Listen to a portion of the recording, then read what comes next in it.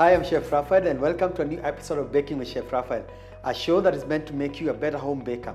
Today, I'm going to show you a great recipe, a recipe that I love this cake recipe because it's actually a muffin. Uh, it's a mixed berry muffin. It's a hard cake, it's not soft, it's in between. And with the berries, it makes it perfect. For the ingredients, I have some eggs, some water. Now, you can use water, you can also use orange juice or uh, apple juice. I'm also using cooking oil. The berries, in the berries here I have strawberries and raspberries, sugar, and self-raising flour. Put the, the ingredients together, we'll start with the wet ingredients, whereby I'll crack my eggs.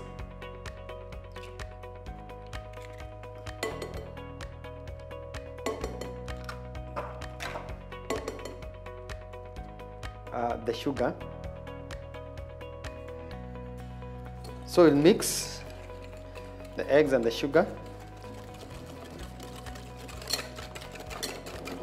And then I'll add the water.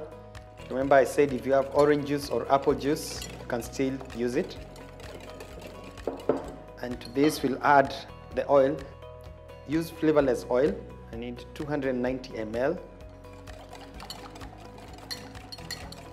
For the berries, make sure that if you have the rose, the strawberry, cut them into small pieces.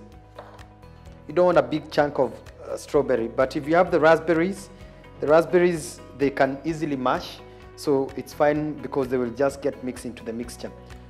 If you have frozen uh, berries, you can still use them. The good thing about frozen ones, when they are frozen and they when they start cooking, they will become soft and mushy. But if it's fresh, it will still maintain that whole wholeness.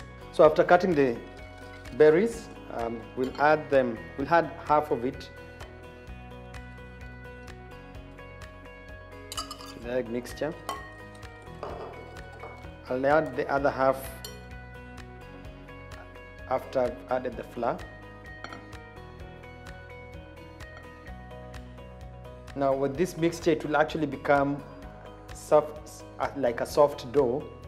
Now the first time I made this recipe, I actually thought something was wrong with it, uh, especially because it's actually using 950 grams of flour and the mixture becomes really hard. So at first when I first made it, I thought it was wrong. Maybe I didn't add something.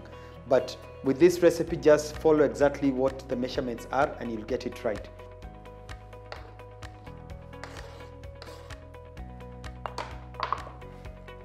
The idea when you're mixing the, the, this cake batter is to make sure that the flour is completely mixed through and you don't see any white flour. This flour, remember I had not mentioned I'm actually using self-raising flour, not all-purpose flour. So the flour which has already the mixed, the baking powder. So like I said, this is a very different kind of cake mixture. So it's, it's, it's like a dough. Um, but the idea is you stop mixing when all the flour has been mixed through. So this is ready. You don't want to overwork it. Remember when you, the more you work the flour, it will become more elastic and you don't want that. It's just until all the flour is mixed through. For, for the muffin tin, what I will do is uh, actually brush a little bit of the oil using a small brush on the sides and on the bottom. Now, um, now to scoop the cake mixture, is I'll use an ice cream scoop. An ice cream scoop will give me equal amounts of the mixture, but you can also use a big spoon. Now, as you're using an ice cream scoop, sometimes it makes actually makes it easier. When you use water, you dip it into the water, then scoop, and then pour.